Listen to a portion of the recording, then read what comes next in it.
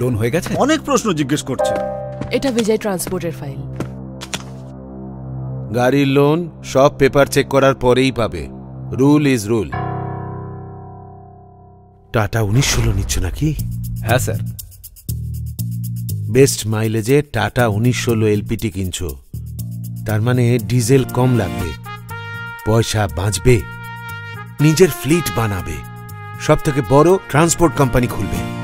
And you will help in the development of the country sir আপনি যে স্বপ্ন দেখাচ্ছেন তা কি এত সহজ নাকি? ম্যাডাম যারা টাটা মোটরসের ট্রাক চালায় তারা তাদের পরিশ্রম নিষ্ঠা আর ভালো মাইলেজ দিয়ে তাদের স্বপ্নকে বাস্তবে পরিণত করতে পারে।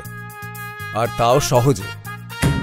যারা যারা টাটা উনিশ ষোলো কিনেছে তাদের সবার উন্নতি এইভাবে এইভাবে এইভাবে হয়েছে। Loan approved thank you very much sir কারণ এই ট্রাকগুলোতে টাটার ভরসা তো আছেই।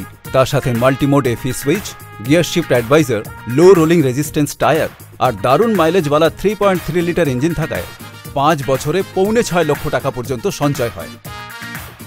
মানে এখন মাইলেজ বেশি তাই সঞ্চয় বেশি অর্থাৎ প্রফিট বেশি। আপনারাও আপনাদের স্বপ্ন পূরণ করতে পারেন। আপনাদের কাছাকাছি টাটা মোটরসের ডিলারশিপে যান। আর বেস্ট মাইলেজে উনিশ ষোলো এলপিটির সাহায্যে বেশি প্রফিট করুন।